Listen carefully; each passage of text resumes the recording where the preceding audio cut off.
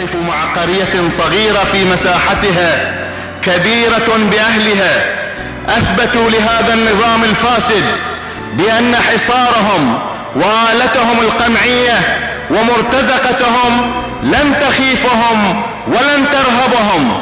فقد نذروا أنفسهم لهذه الثورة المباركة حتى تتحقق كافة أهدافها.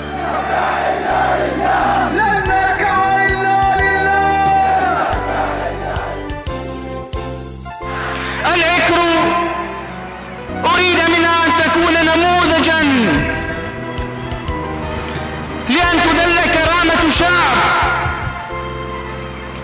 لأن يخضع صمود شعب. لكنها أبت. لأنها منذ أن نفضت عنها الطرق وهي كذلك منذ أمد بعيد. كان شعارها. وسيظل أبدا